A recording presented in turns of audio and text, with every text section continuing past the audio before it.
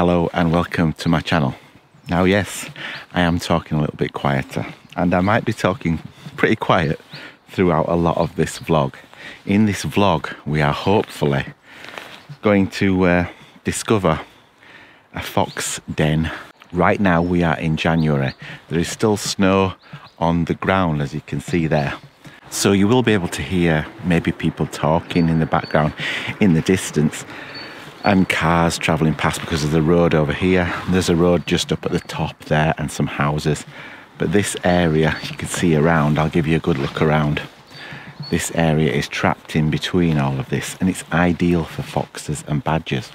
So I came out, thought I'd seen something there. At this stage, I don't know what I'm going to get, but you're going to see my whole progress in this actual vlog. So I'm going to quietly make my way over to where I put the camera. We're going to pick the camera up, I'm going to take it home, and we're going to have a look at the footage and see what I got. If it's what I think it is, which is uh, fox activity, and they are using this uh, den, this hole in the ground, then I will come back with my cameras because I've got two of these trail cameras now. I will come back and I'll place them a little bit more carefully. So I'm a little bit out of breath. I did get to the camera, it was still there. And uh, haven't looked at the footage yet. I'll wait till I get home to have a look at that. Just to give you an idea of the area. Again, standing in a different place now. Uh, down there is the road and the village and up over the top here we've got more houses. And this little area of woodland and what would have been moorland uh, well it still is moorland. It's just trapped in between here as I said before. So yeah that's the area that I've picked. And for years I've heard the foxes roaming around at night calling to each other. Quite a eerie call they have. And uh, I've always wondered where they camp out where do they live so hopefully I will track them down and we'll get some good footage through the spring and summer. It'll be interesting to see if I can actually achieve that.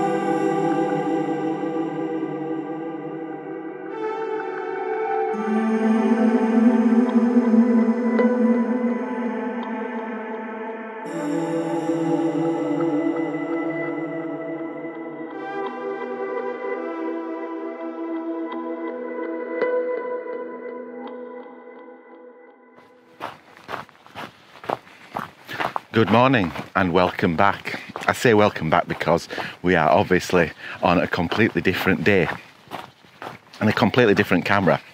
But I'm using this camera because I just wanted to make sure that uh, I brought you all the uh, sights and sounds of this beautiful winter walk uh, this morning.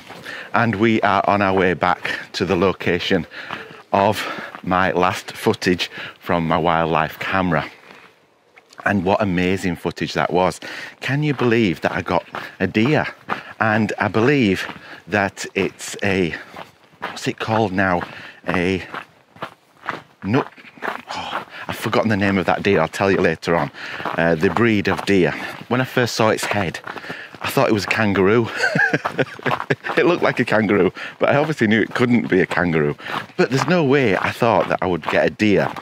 Uh, so close to where I live, and it's just a little area trapped in between, uh, you know, these villages. So I never thought that I would get that. So amazing footage. I'm so happy. So I'm on my way back to there. I still can't think of the name of that deer. If I don't think of it, I'll put it in the description below. But I'm sure you guys already know what breed of deer that is. They're only small, but amazing. Really blown away by that footage. Thought that I was going to get badger fox, maybe a rabbit, and end up getting deer right on my doorstep. So, what do you think of the scenery here? It's a glorious morning. Freezing cold, it's about minus one, uh, but a lovely walk out. So, I'm going to take you back to the actual spot where I planted that camera, and I'm going to put the camera back there. In my little video snippets, you could see the deer looking in that hole. So, I'm thinking with the deer's super uh, sense of smell and ears, um, it figured there was something down there, so maybe the foxes are down there. But in the snow today, we might be able to uh, have a look at some uh, footprints and see what is knocking about down there. So that's the mission today. Just and um, looking at the ground here.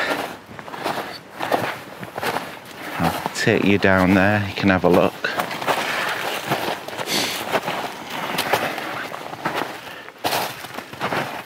There's been dogs and I think foxes.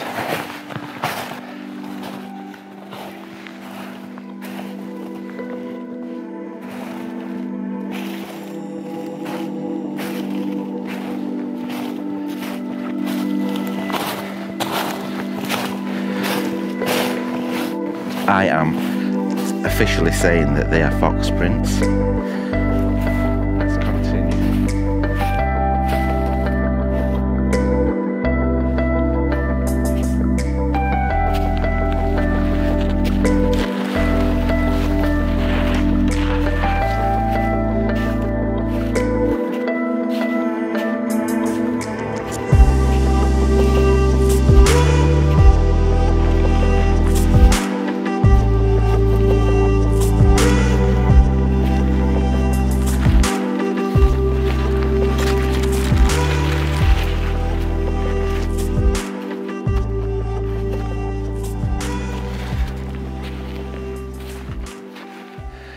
So this is working out really well, being able to uh, just have a look at these uh, footprints.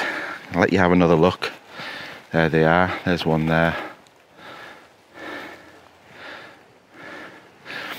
Some of them might be dog, some of them could be a dog. They're quite big, but then the dog fox, some of them are quite big it's not easy for me to tell dog from fox right now. There is actually a massive difference when I look at it on the little charts that I've been studying. Um, it, it is quite obvious, but not in the snow. That's uh, because the snow sort of melts as well, so it looks bigger than it actually is, uh, like Bigfoot. right, let's uh, continue.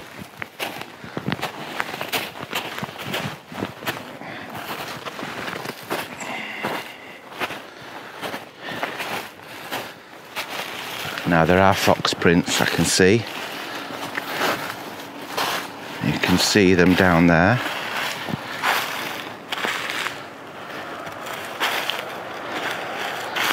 There.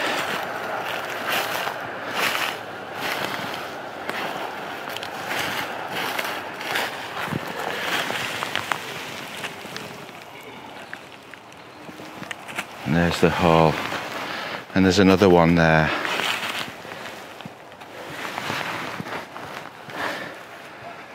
You can see the mound here where they've dug out.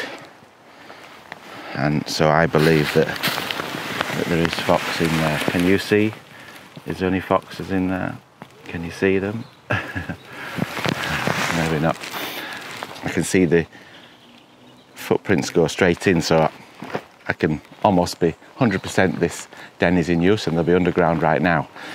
I don't really want to tread around it too much and put them off using it. Even my voice here isn't a good idea. So I'm to make my way up to where we spotted the deer using my wildlife camera. Just have a look there because there's, there's another hole there.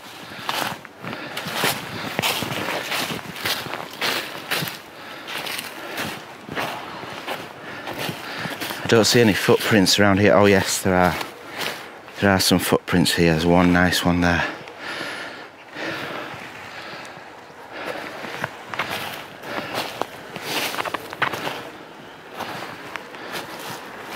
And so this is the spot where that great picture was taken of the deer.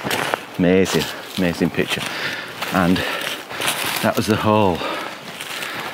There's no footprints around that.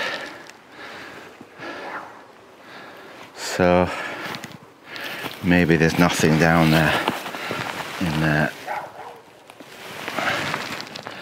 Might be badger, but there's no footprints around there.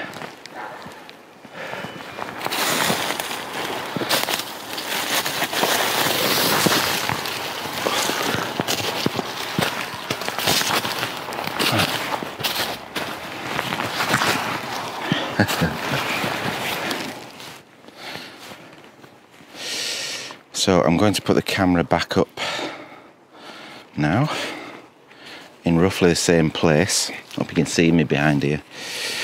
In roughly the same place as I put it before. And I'm using the strap a little bit kinder to the tree. Although I don't think the screw-in version of the mount really does cause too much of a problem.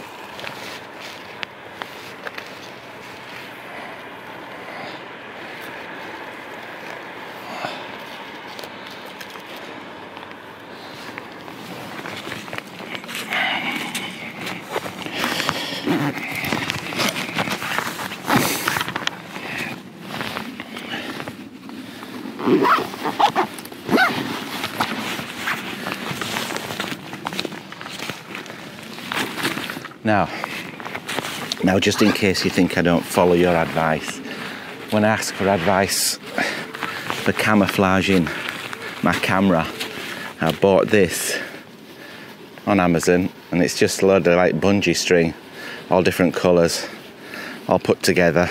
Don't know what it's called, but basically I put that around the camera and it just sort of takes the edge off it um, visually. And uh, yeah, I think it'll work well. So I'm going to put that round it. And that means that that means I'm happier to use the strap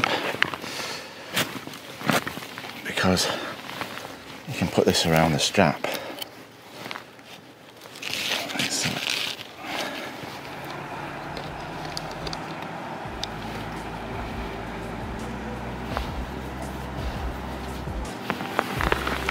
The sun is blinding but gorgeous another look at this wonderful view this morning.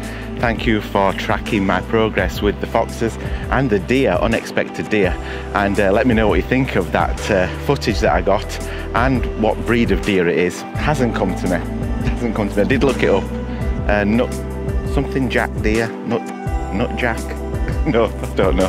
It's gone. Anyway, uh, I'm going to leave it there for now. Thank you for continuing to track my progress on the wildlife camera. I'm enjoying using it. We're going to leave it down there. It's just down there. Uh, we're going to leave it down there for quite some time now, let the snow melt and uh, get some really good footage and build up a picture of what is actually living down in these woods and hopefully track that throughout the summer. So, uh, yeah, thank you if you've enjoyed this one. Give me a like, consider subscribing, and until the next one, bye.